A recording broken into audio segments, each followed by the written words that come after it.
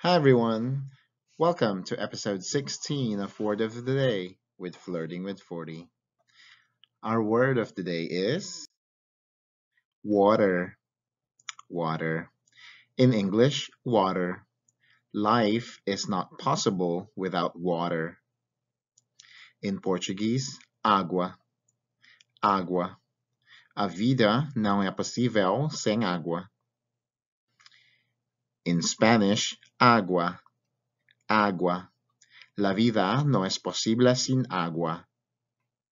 In German, Wasser. Wasser. Ohne Wasser ist kein Leben möglich. In French, eau. Eau. La vie n'est pas possible sans eau. In Italian, acqua. Acqua. La vita non è possibile senza acqua. In Galician, auga. Auga. A vida non è possible sen auga. In catalán, aigua. Aigua. La vida no es posible senza agua. In Tagalog, tubig. Tubig. Hindi posible ang buhay kung walang tubig and in Kapampangan, danum. Danum. É posibleng bien nung alang danum.